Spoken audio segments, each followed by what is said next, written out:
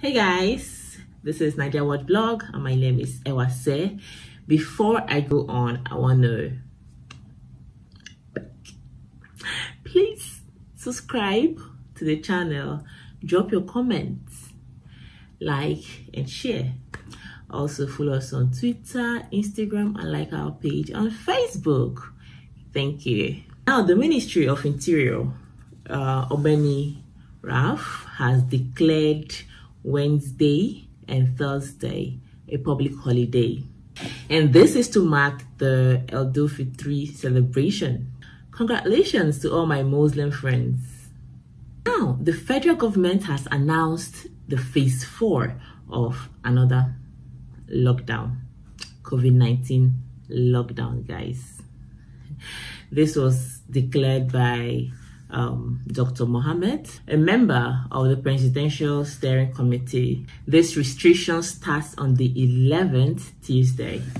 And social measures.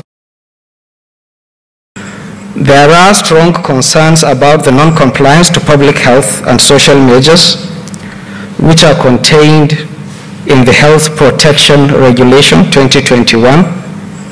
Specifically, the level of adherence to the use of face mask, physical distancing, temperature checks in public spaces, hand washing, and limitations placed on large gatherings remain very poor. In some areas, these are even non-existent. In line with the increasing risk of a surge in cases, the PSC is therefore maintaining the enforcement of the COVID-19 health protection regulation. This is to mitigate the risk of a spike in new cases while the nation vaccine, nationwide vaccine rollout continues. The national response continues to focus on achieving a balance between preserving lives and livelihoods while working towards long-term epidemic control. Now, these are the new restrictions. Further to this recommendation, and effective from 0001 hours of Tuesday, 11th May 2021, this phase 4 of the first restriction of movement shall come into effect. We shall maintain restrictions on mass gatherings outside work settings with a maximum number of 50 people in any enclosed space. Approved gatherings must be held with physical distancing measures and other non-pharmaceutical interventions in place. Event centers, bars, nightclubs shall remain closed until further notice. Restaurants are to provide eat-in at 50% capacity and provide takeaways were available. These measures are to enable the government of Nigeria effectively prevent and control the resurgence of an acute phase of this pandemic, continue to strengthen our public health systems, and protect the lives of Nigerians and our economy. It is critical that greater ownership and responsibility of these measures are secured from both the general public and government institutions across federal and state levels. It is believed that these steps will help consolidate the gains made thus far and position our country to effectively overcome the pandemic going forward. Four days ago, the reported case of coronavirus was 49. As at three days ago, it was 30 these numbers aren't that bad. The numbers aren't that bad. Again, vaccines has been made available, isn't it? We are taking the vaccine. So what is this lockdown about? What are they not telling us? If the federal government wants to declare a state of emergency due to the insecurities going on in the country, deal with your chest. Come up and say, say it. Hmm. Lockdown, but international airports, local airports, interstate and uh, traveling are allowed. Lockdown. maybe it might not be as serious as the last, but it's not even necessary at all. I mean, precautions have been taken.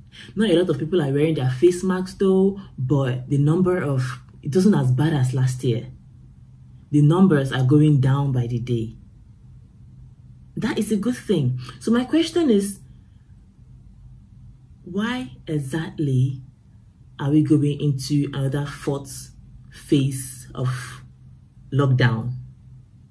I mean, well, when did the second and third happen? Was it during the EndSARS period? Because I think we skipped some numbers to the fourth phase, if you ask me. Mind you, the coronavirus is very much active, is still very much active. But a lockdown, not worth it. What do you think? Please kindly drop your comments. Please, I would love to hear from you. In Onitsha, Anambra State, a truck of ammunition fell in a ditch. You guys, this is quite interesting. This happened. This hap this happened around the wee hours of the morning, but by the time the um, the driver and the conductor were, were done packing up, the security had been called on them, like police had arrived to the scene. My question is this Were there no military or police checkpoints? How did they get that far? Now, people in Anambra State are living in fear for the unknown. Because for that kind of number of ammunition, live bullets being transported within the states or in and out of the state, won't you be scared?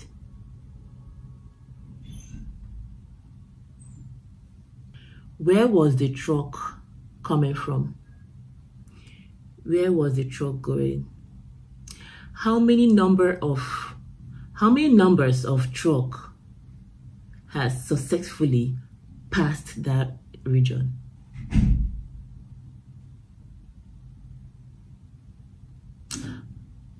What is really going on? How did we get here in Nigeria? How did we get to this place?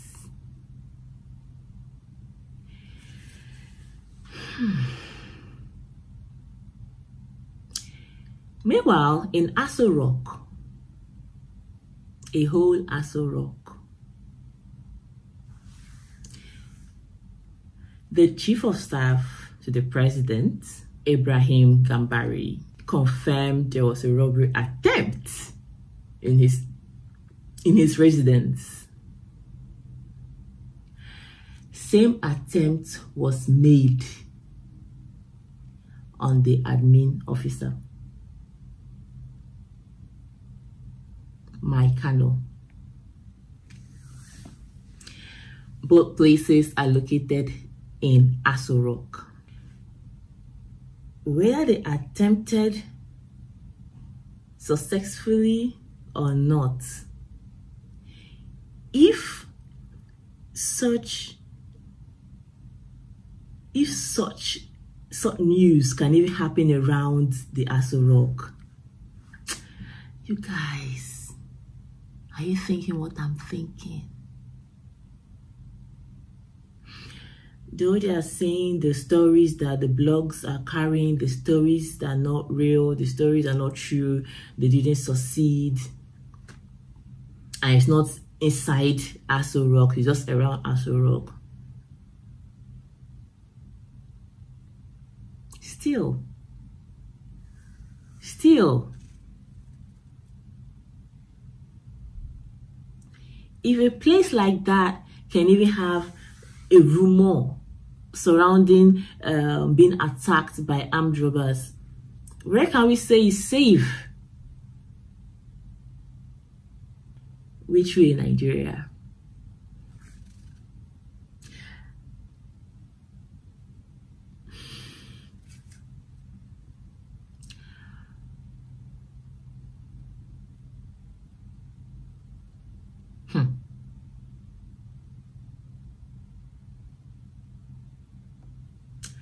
Anyway,